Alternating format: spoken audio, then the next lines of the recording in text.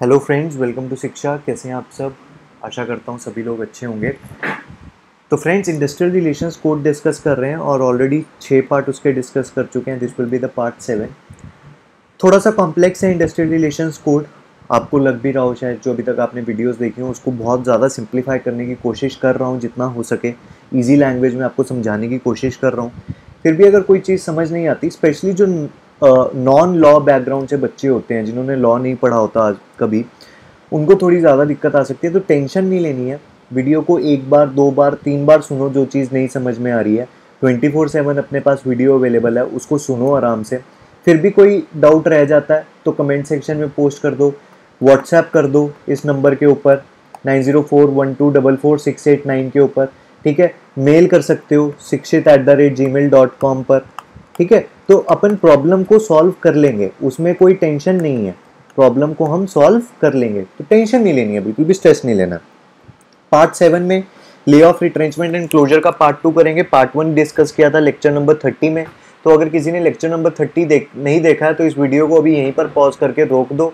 क्योंकि अगर थर्टी नहीं देखा है तो थर्टी वन समझ नहीं आएगा, क्योंकि कंटिन्यूएशन है। ओके? पीडीएफ का लिंक डिस्क्रिप्शन में अवेलेबल है, वहाँ से डाउनलोड कर लेना। ओके? चलो, शुरू करते हैं। तो सबसे पहले जो आपका ये वीडियो है, इसमें हम बात करेंगे सेक्शन 70 की। मैंने आपको पहले भी बताया कि सारे सेक्शंस हम नहीं कर रहे हैं। हम सिर्फ़ आपको वो सेक्शन बताते हैं जो थोड़ा सा इंपॉर्टेंट होता है, या आगे चल करके, आगे के लेक्चर्स में जिस सेक्शन को हमें यूज़ करना पड़ता है रेफरेंस देने के लिए। ठीक है? अब सेक्शन 70 आगे चल करके बहुत से टॉपिक्स में जो इंडस्ट्रियल रिलेशन कोड को जैसे जैसे हम आगे पढ़ेंगे, बहुत जगहों पर सेक्शन 70 का ज़िक्र आएगा। इसीलिए आपको पता होना चाहिए कि सेक्शन 70 में क्या है। ठीक है? तो सेक्शन 70 में क्या कहते हैं कि कंडीशंस क्या होंगी जिसमें वर्कर को रिट्रेंच किया जा सकता है? ओके तो सेक्शन 70 कहता है कि कोई भी वर्कर कोई भी एम्प्लॉय को एम्प्लॉयर रिट्रेंच नहीं कर सकता। ऐसा वर्कर जो कंटिन्यूस सर्विसेज़ में है कंटिन्यूस सर्विस में हमने पिछली साल पिछली क्लास में भी देखा था क्या होता है? ऐसे वर्कर जो किसी ऑर्गेनाइजेशन में एक साल या एक साल से ज़्यादा काम कर रहे हैं। ओके? okay? एक साल या एक साल से ज़्यादा से काम कर रहे हैं किसी ऑर्गेनाइजेशन में या किसी एम्प्लॉयर के अंडर तो वो कंटिन्यूस सर्विस की डेफिनेशन में आ जाता है। सो सेक्शन सेवेंटी कहता है कि आप किसी भी ऐसे एम्प्लॉयर को, जो कंटिन्यूस सर्विसेज़ में है, एक एम्प्लॉयर के अंडर उसको रिट्रेंच नहीं कर सकते अनटिल एंड अनलेस कुछ पर्टिकुलर कंडीशंस जो है वो सेटिस्फाई हो रही हैं। क्या कंडीशंस हैं वो? सबसे पहले तो ये कहा गया कि अगर एम्प्लॉयर एक एम्प्लॉय को रिट्रेंच करना भी चाहता है तो सबसे पहले तो उस एम्प्लॉयर को वर्कर को एक महीने का नोटिस देना पड़ेगा। उसको एक महीने का नोटिस देकर के बताना पड़ेगा कि हाँ भैया, हम तुझे रिट्रेंच कर रहे हैं। और उस नोटिस में वो रीज़न भी बताएगा कि क्या रीज़न है कि क्यों उसको रिट्रेंच किया जा रहा है। ठीक है? और जब ये एक महीने का पीरियड एक्सपायर हो जाएगा, उसके बाद अगर एम्प्लॉयर एम्प्लॉय को हटा देता है तो वो उसमें कोई भी लीगल लूपहोल नहीं होगा। लेकिन साथ ही साथ उसको वर्कर को कंपेंसेशन पे करना पड़ेगा नोटिस के साथ साथ और जो भी वेजेस हैं, उस, अब ये जो एक महीने का नोटिस है, इसकी पूरी प्रॉपर उसको वेजेस दी जाएँगी। ठीक है? प्रॉपर वेजेस दी जाएँगी। ऐसा नहीं है कि मैंने तो तेरे को कंपनसे एक महीना पहले नोटिस दे दिया था तो नोटिस पीरियड का मैं तुझे कोई तनख्वाह नहीं दूँगा। नोटिस पीरियड की भी उसको प्रॉपर वेजेस जो है वो मिलेंगी। ठीक है जी? उसके बाद रिट्रेंचमेंट के समय पे वर्कर जो है, उसको प्रॉपर कंपनसेशन दिया गया है। अब कंपनसेशन के लिए भी कोड में क्या लिखा गया है? कि compensation should be equivalent to 15 days of average pay 15 दिन की जो एवरेज पे है, वो कंपनसेशन होनी चाहिए। लेकिन अप्रोप्रिएट गवर्नमेंट फॉर एग्जांपल अब स्टेट लेवल गवर्नमेंट अपनी सिचुएशन के हिसाब से कुछ चेंज लेकर के आना चाहती है इसमें तो स्टेट गवर्नमेंट इस 15 डेज़ एवरेज पे को कम या ज़्यादा भी कर सकती है। फॉर एग्ज़ाम्पल कोई स्टेट गवर्नमेंट ये कह सकती है कि भाई थर्टी डेज़ एवरेज पे होना चाहिए या ट्वेंटी डेज़ एवरेज पे होना चाहिए। ठीक है? तो सरकार के ऊपर वो छोड़ा गया है। और राइट और जो नोटिस दिया जाएगा यहाँ पर, ये जो हम वन मंथ नोटिस की बात कर रहे हैं, ये प्रॉपर फॉर्मेट में होना चाहिए और ये जो फॉर्मेट है, ये अप्रोप्रिएट गवर्नमेंट या अथॉरिटी सेट करेगी। ऐसा नहीं है कि कागज़ पे लिख के दे दिया कि अगले एक महीने एक महीने बाद तुझे हटा दिया जाएगा। ऐसा नहीं चलेगा। प्रॉपर फॉर्मेट जो है वो फॉलो करना पड़ेगा। ठीक है जी? सेक्शन सेवेंटी में ये बात लिख दी गई एक तो। ओके नेक्स्ट बात करते हैं प्रोसीजर फॉर रिट्रेंचमेंट की। इस प्रोसीजर फॉर रिट्रेंचमेंट में हम क्या कह रहे हैं? फॉर एग्ज़ाम्पल एक बीपीओ है, ठीक है? एक बीपीओ है। बीपीओ में दो इंप्लॉय हैं ए और बी ठीक है? ए और बी ए जो है, इसने ज्वाइन किया था वन मई 2018 को और बी ने ज्वाइन किया था वन मई 2020 को। अब सिचुएशन ऐसी बन गई कि जो ये बीपीओ ऑर्गेनाइजेशन है, सारे यहाँ पर फॉर एग्जांपल एक कॉल सेंटर जॉब है, ठीक है? सारे बीपीओ प्रोफेशनल्स हैं ओके तो almost same category of employees ही आ जाएँगे, ठीक है? सेम कैटेगरी ऑफ़ एम्प्लॉयज़ आ गए अब इस ऑर्गेनाइजेशन में काम करते हैं पाँच हज़ार लोग, और क्योंकि ऑर्गेनाइजेशन के जो रेवेन्यूज़ हैं वो रिड्यूस हो गए हैं या organisation is not going financially well they decide कि पाँच हज़ार से हम जो है स्ट्रेंथ थ्री थाउज़ेंड करना चाहते हैं। हम स्ट्रेंथ रिड्यूस करना चाहते हैं तो उनको इम्प्लॉयज़ को रिट्रेंच करना पड़ेगा। अब ए और बी दो इम्प्लॉयज़ हैं, दोनों इसी ऑर्गेनाइजेशन में काम कर रहे हैं ए और बी में से ऑर्गेनाइजेशन जो है एक को ही रखेगी। तो किस पर्सन को ए रखेगी? ए को या बी को? तो इंडस्ट्रियल वेजेस कोड क्या कहता है कि अगर सेम कैटेगरी ऑफ़ एम्प्लॉयज़ को आप रिमूव कर रहे हो, एक जैसे एम्प्लॉयज़ को आप रिमूव कर रहे हो फॉर एग्जांपल बीपीओ में आप जो कॉल सेंटर के लिए कॉलिंग करने के लिए आपने पर्सन रखे हुए हैं, उनको आप रिमूव कर रहे हो तो आपने जो रिमूवल है वो किस बेसिस पे होना चाहिए कि जो व्यक्ति ज़्यादा समय से आपके साथ काम कर रहा है उसको नहीं आप हटाओगे, आप दूसरे व्यक्ति को हटाओगे। ठीक है? तो एक बार टेक्स्ट रीड कर लेते हैं। Where any worker in an industrial establishment who is a citizen of India citizen of India भी एक बहुत इंपॉर्टेंट पॉइंट है, क्योंकि ये सिटीजन्स के केस में ही होएगा। सिटीजन्स के केस में ही ये वाली सिचुएशन होएगी। ये भी मैं अभी आपको बताता हूँ कैसे। Is to be retrench and he belongs to a particular category of workers जैसे मैंने आपको बीपीओ में बीपीओ का एग्ज़ाम्पल दिया।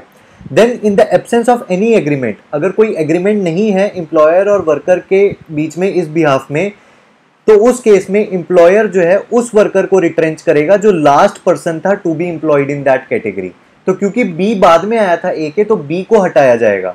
ठीक है? फॉर एग्ज़ाम्पल अब बहुत सारे ऐसे सौ वर्कर्स थे जिनको कल ही अपॉइंट किया गया था। ठीक है? आज हटाना है और कल उनको अपॉइंट किया गया था। आज नोटिस देना है उनको हटाने के लिए।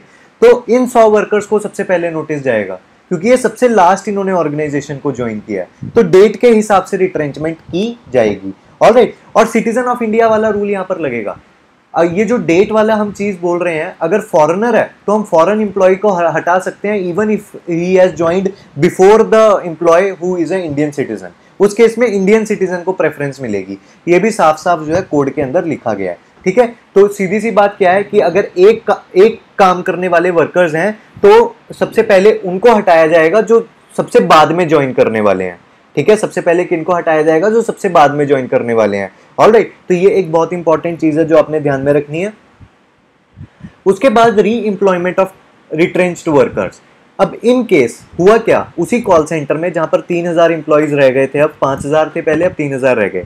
अब अगले छह महीने बाद क्या हुआ? फॉर एग्ज़ाम्पल छह महीने बाद उस ऑर्गेनाइजेशन की कंडीशन इंप्रूव हो गई और उस ऑर्गेनाइजेशन के पास और ज़्यादा काम भी आने लगा। अब ऑर्गेनाइजेशन कहती है, यार, अब अपने को लोग बढ़ाने पड़ेंगे। अपना काम बढ़ रहा है तो अपने को लोग भी चाहिए एम्प्लॉयज़ चाहिए। तो अब हमें फिर से थ्री थाउज़ेंड से स्ट्रेंथ फाइव थाउज़ेंड पर लेकर के जानी है। ठीक है? तो उस केस में क्या होगा? उस केस में क्या लिखा गया है? कि when where any worker is retrenched and the employer proposes to take into his employment any person within one year of such retrenchment. Worker को हटा दिया। अब छह महीने बाद फिर से एम्प्लॉयर जो है उसी प्लेस के ऊपर, उसी पोजीशन के ऊपर दोबारा से हायरिंग करना चाहता है। रिट्रेंचमेंट के बाद दोबारा से उसी पोजीशन पे हायरिंग करना चाहता है। तो एम्प्लॉयर को पहले अपॉर्चुनिटी जिस वर्कर को उसने रिट्रेंच किया था, जो हिंदुस्तान का सिटीजन भी है उसको पहले अपॉर्चुनिटी देनी पड़ेगी। ठीक है? अगर वो अपने आप को री एम्प्लॉयमेंट के लिए ऑफ़र करते हैं, अगर जो वर्कर है वही अपने आप को री एम्प्लॉयमेंट के लिए ऑफ़र नहीं कर रहा, फिर तो बात ही खत्म हो गई। लेकिन अगर वो अपने आप को री एम्प्लॉयमेंट के लिए ऑफ़र कर रहा है तो एम्प्लॉयर को पहले ऐसे वर्कर को ही जो है प्रेफरेंस देनी पड़ेगी जिसको उसने पहले रिट्रेंच किया था। ठीक है? Retrench workers who offer themselves for reemployment shall have preference over other person बाकियों के ऊपर प्रेफरेंस रहेगी। तो ये भी चीज़ इंपॉर्टेंट है। Okay okay? चलो। Okay now compensation to workers in case of transfer of establishment इसका क्या मतलब है? फॉर एग्ज़ाम्पल आज ए एम्प्लॉयर है। ठीक है? अब इसने अपनी ऑर्गेनाइजेशन बी को बे, बेच दी। तो ऑर्गेनाइजेशन अब बी के पास चली गई। यहाँ यानी कि यहाँ पर या तो ओनरशिप या मैनेजमेंट का चेंज हो रहा है। ठीक है? इस्टेब्लिशमेंट के ट्रांसफ़र से हम फ़िज़िकल ट्रांसफ़र की बात नहीं कर रहे कि एक जगह से फैक्ट्री बंद होकर के दूसरी जगह पर खुल गई। हम यहाँ पर बात कर रहे हैं कि अगर जो एम्प्लॉयर है, वही चेंज हो गए। ठीक है? तो उस केस में जो भी वर्कर जो कंटिन्यूस वर्कर है वंस अगेंस्ट कंटिन्यूस वर्कर कौन है? जो एक साल या एक साल से ज़्यादा काम कर रहा है उस कंपनी में। ठीक है? तो जो भी कंटिन्यूस वर्कर है, उस इस्टेब्लिशमेंट में जो काम कर रहा है, जब ट्रांसफ़र हुई है मैनेजमेंट या ओनरशिप तो उस वर्कर को आपको नोटिस और कंपनसेशन देना पड़ेगा प्रॉपरली जो हमने सेक्शन 70 में पॉइंट्स लिखे हैं। ठीक है? और यही उसको माना जाएगा कि वर्कर को रिट्रेंच किया जा रहा है ओनरशिप और मैनेजमेंट चेंज होने पर। ठीक है? तो आपको प्रॉपर कंपनसेशन और नोटिस देना पड़ेगा। लेकिन अब कुछ सिचुएशंस ऐसी भी हैं, जिस केस में ये जो प्रोविज़न है कंपनसेशन वाला, वो अप्लाई नहीं होगा। किन केसेस में नहीं अप्लाई होगा? For example service of the worker has not been interrupted ownership change हो गई, या मैनेजमेंट चेंज हो गई, लेकिन वर्कर जैसे पहले काम कर रहा था वर्कर अभी भी वैसे ही काम कर रहा है। उसकी जो टर्म्स ऑफ़ कंडीशन है, जिस जो उसकी इंप्लॉयमेंट की टर्म्स एंड कंडीशन है, उसमें कोई चेंज नहीं आया ओनरशिप के ट्रांसफ़र होने से। वो, ऐसा नहीं है कि वो कुछ जो नया एम्प्लॉयर है, उसने आकर उसको चेंज करके उसको लेस फेवरेबल कर दिया हो वर्कर के लिए। तो उस केस में भी जहाँ पर टर्म्स एंड कंडीशंस भी सेम रह रही हैं, या और बेटर हो रही हैं तो उस केस में भी वर्कर को कंपनसेशन नहीं मिलेगा। ठीक है जी? The new employer is under the terms of such transfer और otherwise legally liable to pay to the worker अब अगर एम्प्लॉयर जो है, जो नया एम्प्लॉयर आ रहा है और जो पुराना एम्प्लॉयर था, उन दोनों के बीच में एग्रीमेंट हुआ है। ठीक है जी? उन दोनों के बीच में एग्रीमेंट हुआ है और उस एग्रीमेंट में प्रॉपरली लिखा हुआ है कि वो एम्प्लॉयर जो न्यू एम्प्लॉयर है, वो अगर रिट्रेंच करता है वर्कर को तो वो प्रॉपर उसको कंपनसेशन जो है वो देगा, वो लीगली उसको कंपनसेशन देगा तो उस केस में भी सेक्शन 70 आपको लगाने की ज़रूरत नहीं है। ओके चलो। उसके बाद notice to close down undertaking अब दिवालिया होगा, हो गया अगर कोई इंप्लॉयर उसकी ऑर्गेनाइजेशन ही बंद हो रही है तो उस केस में क्या करेंगे? तो अगर कोई इंप्लॉयर वो चाहता है कि वो अपनी ऑर्गेनाइजेशन को बंद करना चाहता है, अपनी कंपनी को बंद करना चाहता है तो सबसे पहले तो कम से कम उसे 60 दिन का नोटिस देना पड़ेगा अप्रोप्रिएट गवर्नमेंट को। अगर स्टेट लेवल की ऑर्गेनाइजेशन है तो स्टेट गवर्नमेंट को नेशनल ऑर्गेनाइजेशन है तो सेंट्रल गवर्नमेंट को उसको नोटिस देना पड़ेगा और उस नोटिस में 60 डेज़ पीरियड के नोटिस में रीजंस लिखे होंगे कि क्यों वो अपनी अंडरटेकिंग को बंद कर रहा है। तो एटलीस्ट सिक्सटी डेज़ नोटिस ये देखो, ये जो भी पीरियड्स वाली चीज़ें हैं ना, ये बहुत इंपॉर्टेंट है क्वेश्चन में डायरेक्टली पूछा जाएगा। ठीक है? जैसे हमने देखा कि अगर वर्कर को हटाना है रिट्रेंच करना है सेक्शन सेवेंटी के अंदर तो कितने डेज़ का नोटिस देना है मिनिमम थर्टी डेज़ का। सिमिलरली अगर वर्कर जो क्लोज क्लोजर करना है तो अप्रोप्रिएट गवर्नमेंट को कितने दिनों का नोटिस देना है? सिक्सटी डेज़ का। ठीक है? अब साथ ही साथ ये भी लिख दिया कि जो भी प्रोविजंस हैं, ये notice to close down undertake notice in case of close down of undertaking के केस में, वो प्रोविजंस कहाँ पर अप्लाई नहीं होंगे। तो ऐसी इंडस्ट्रियल इस्टेब्लिशमेंट जिसमें 50 से कम लोग काम कर रहे हैं 50 से कम लोग एम्प्लॉयड हैं और were employed on any day in the preceding 12 month अगर पिछले 12 महीने में किसी एक दिन भी उस ऑर्गेनाइजेशन में 50 से कम लोग एम्प्लॉयड थे तो उस केस में भी ये जो प्रोविज़न है notice to close close down undertaking का, वो अप्लाई नहीं होगा। दूसरा, ऐसी इंडस्ट्रियल इस्टेब्लिशमेंट जो किसी बिल्डिंग की कंस्ट्रक्शन के लिए ब्रिज की कंस्ट्रक्शन के लिए रोड कनाल डैम या किसी कंस्ट्रक्शन वर्क या प्रोजेक्ट के लिए इस्टेब्लिश की गई थी तो उन केसेस में भी ये वाला जो प्रोविज़न है, वो लागू नहीं होगा। जो ये notice in case of close down of undertaking वाला प्रोविज़न है। ओके नाउ एक्सेप्शन क्या है? The appropriate government may if it is satisfied that owing to such exceptional circumstances as accident in the undertaking or death of the employer or an extraordinary situation such as natural calamity or life. तो जो provision हैं कि भाई 60 दिन का notice देना पड़ेगा या जो भी कंपनसेशन की बात है वर्कर्स को देने की, वो सारी बातें अगर सरकार चाहे, जो अप्रोप्रिएट गवर्नमेंट है, वो चाहे तो वो नहीं लागू होंगी। ठीक है? फॉर एग्ज़ाम्पल और उस इस्टेब्लिशमेंट में एक्सीडेंट हो गया, ठीक है? और सब कुछ खत्म हो गया उस इस्टेब्लिशमेंट का तो क्या कोई नोटिस देगा?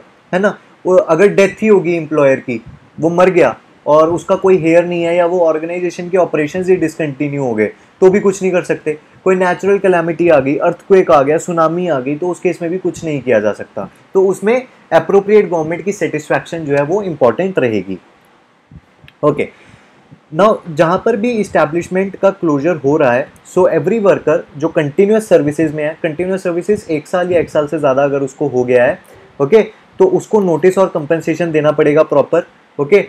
लेकिन अगर अनअवॉइडेबल सर्कमस्टांसिस की वजह से हुआ है क्लोजर जहाँ पर जो सिचुएशन है वो एम्प्लॉयर के कंट्रोल में ही नहीं है तो उस केस में जो कंपनसेशन होगा that will be paid shall not exceed his average pay for three months तो जो उसका average pay for three months होगा उससे ज़्यादा ये नहीं कंपनसेशन uh, होगा अगर अनअवॉइडेबल सिचुएशन है। Okay okay? चलो। उसके बाद अगर कोई भी इंडस्ट्रियल इस्टेब्लिशमेंट क्लोज होती है किसी फाइनेंशियल डिफिकल्टी की वजह से उसको नुकसान हो गया फाइनेंशियल लॉस हो गया. Accumulation of undisposed stocks expiry of the period of the lease और लाइसेंस ग्रांटेड टू इट ठीक है? In case where the undertaking is engaged in mining operation exhaustion of minerals in the area in which operation are carried on तो in case में, इन सारी situations में, ये establishment ये इसको डीम नहीं किया जाएगा कि it has been close down on account of unavoidable circumstances ठीक है? अगर इनमें से किसी भी कारण की वजह से ऑर्गेनाइजेशन का क्लोजर हो रहा है, वो बंद हो रही है तो उस केस में एम्प्लॉयर ये नहीं कहेगा कि, हाय, मैं क्या करूँ? ये तो अनअवॉइडेबल सर्कमस्टांसिस है। नहीं। अनअवॉइडेबल सर्कमस्टांसिस की डेफिनेशन में ये नहीं आएगा, ठीक है? अब कोई इंडस्ट्री अगर माइनिंग ऑपरेशन में है, और वो अंडरटेकिंग अब वो जहाँ पर माइनिंग कर रही थी, जिस मिनरल की वो माइनिंग कर रही थी, वो मिनरल ही ख़त्म हो गया।